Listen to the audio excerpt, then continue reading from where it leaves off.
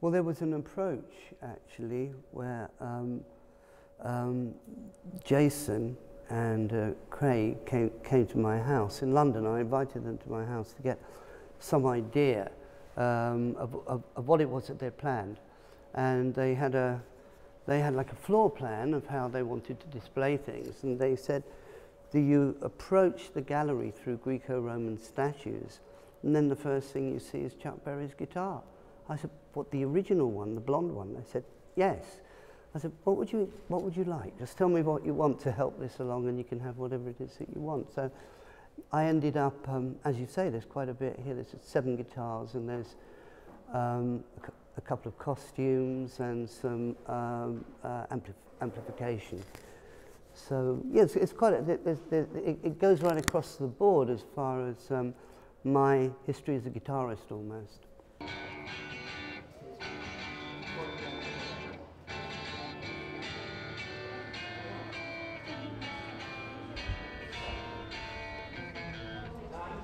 This is the guitar that goes through from the Yardbirds to the first album of Led Zeppelin.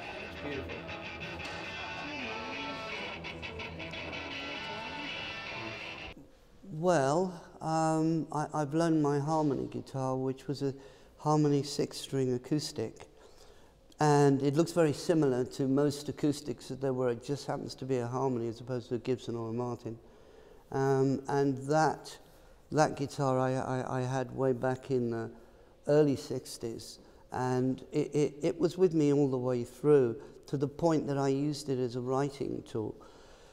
When I was in the Yardbirds, I wrote songs on it because the thing is, it's not the sort of thing where you would go home and set up a, a huge amplification system just to play a few riffs.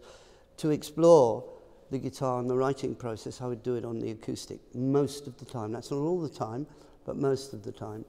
And that, that particular guitar is, the, it, it is a vehicle whereby the first album of Led Zeppelin is written, the second album is written, the third album is written, and the fourth album is written. And uh, it's the guitar that actually culminates on playing uh, Stairway to Heaven. After that, after that album and the intervention of the double neck, was a new thing. I actually then bought a Martin guitar at that point, but that was after the fourth album in time for the fifth album, really.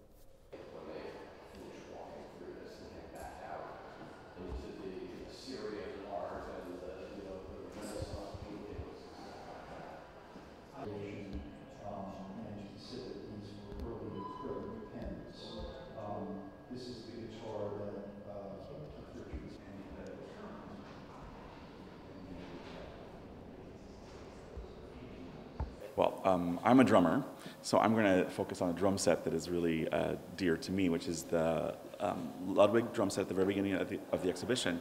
That was Ringo Starr's first Ludwig American drum set. He bought it, I think it was in 63, and used it for a while um, in Britain before the Beatles came. Um, but it was his earliest American set that he was very proud of. So I think that is an icon, and I think everyone's going to love seeing that.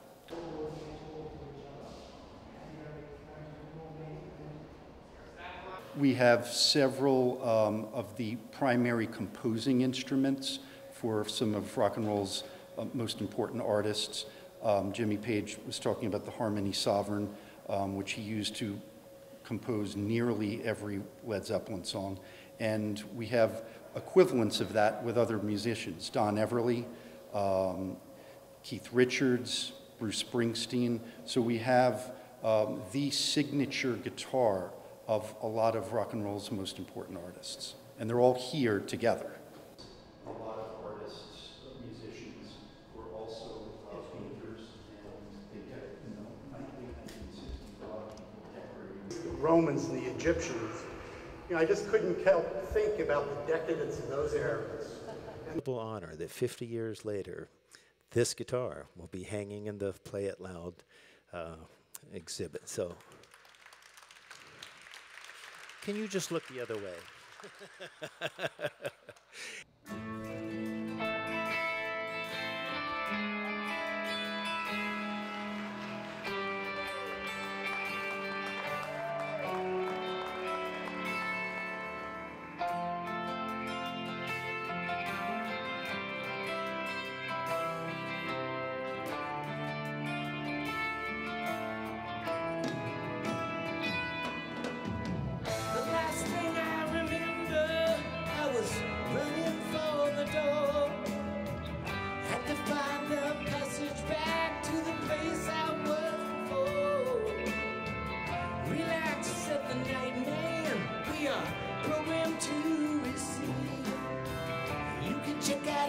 Anytime like, but you can never